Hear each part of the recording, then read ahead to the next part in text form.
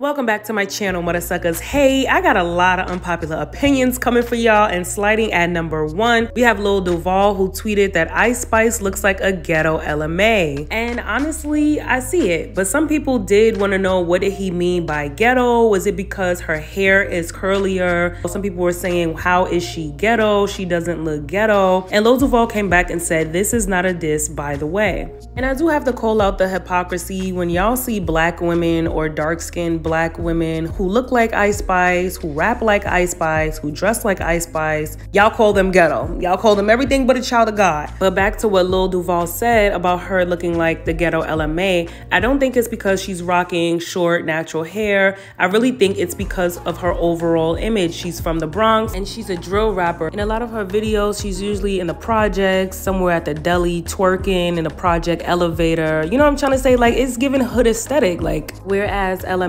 She's an R&B girly. She usually sings about love and heartbreak. She's trying to be booed up. She's trying to be somebody's girlfriend. And Ice Spice is trying to be outside. So I get it. And even when she wears straighter wigs, it's still giving what the curly hair gives. You know what I'm trying to say? She's a ghetto girl from the Bronx. She raps about that. She's proud of that. She lives that. Like, it is what it is.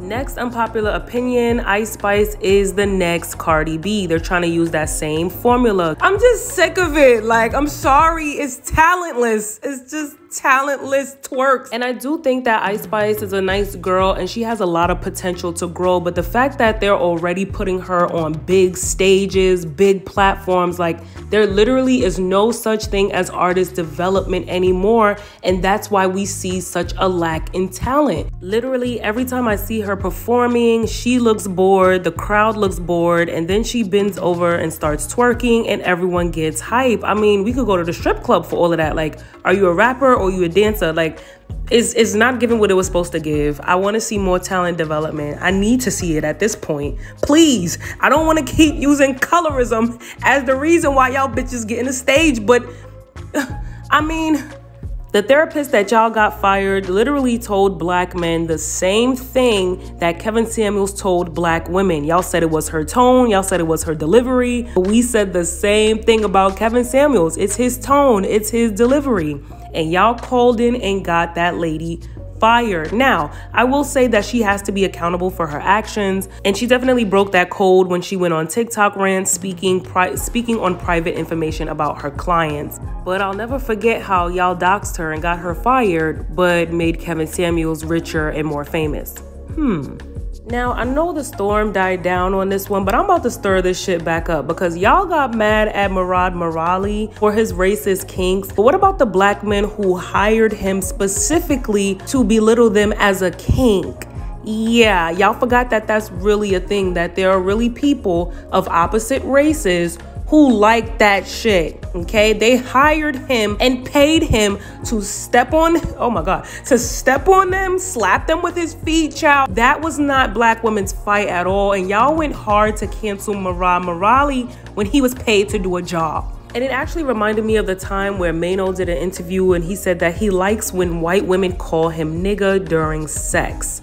Everyone laughed it off. Everyone said, well, that's what he likes. That's what he likes behind closed doors. You know, that's the woman, that's what he want them to do. Well, keep that same energy. That's what those Asian men, black men, and white men, that's why they hired him to shame them racially, okay? Honestly, I could have gone my whole life without seeing or knowing this information. He is a fellow YouTuber, and I just really did not want to see him in that light. But girl, girl, girl, girl, girl, girl. But then I was like, uh-uh, uh-uh, this ain't our fight. It's not our fight. Let him fight with his customers, not you. There's a ton of rumors that Saweetie cheated on Quavo with Offset, and I don't believe it. Like, I really can't see that. I can't see it. It does look like it makes sense because the Migos are no longer a trio, they're now a duo. Obviously, Offset did do something to upset Quavo, but I don't think it had anything to do with Saweetie. I personally think that Saweetie was messing around with Lil Baby,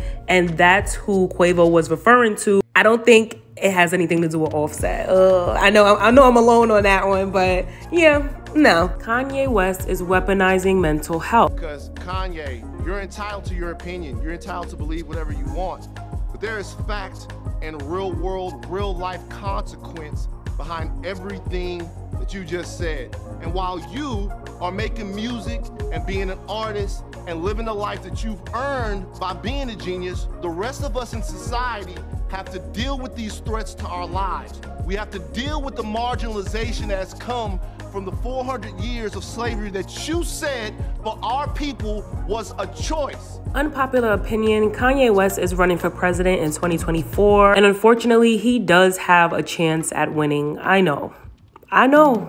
But if Donald Trump could become president, so can Kanye West. The bar is at an all time low for political leaders right now in this country, and honestly, it's a circus. But when you have black people saying, Yeah, I understood what he meant by slavery was a choice, when you have Kanye fans making sense of all of his nonsense, him being president is really not that far fetched. Honestly, look at the way the world is going the bob, superheroes, no capes. Pull up with the bob, superheroes, no capes. I really don't think any artist loves their fan base as much as Nicki Minaj, and I really don't think any fan base loves their leader as much as the Barbs love Nicki. Like, one thing about the Barbs, y'all love y'all some Nicki Minaj. Like, it's really crazy. They have their own language, and I know it's a full time job, but I would love somebody to defend me the way the Barbs defend Nicki, period. Well, that's all I have for this edition of Unpopular Opinions. Let me know some of your thoughts on some of my opinions. Let me know your own personal opinions. Let's kiki down in the comment section. Do you feel like Saweetie really cheated with Offset? Do you feel like Ice Spice is the ghetto version of Ella Mai?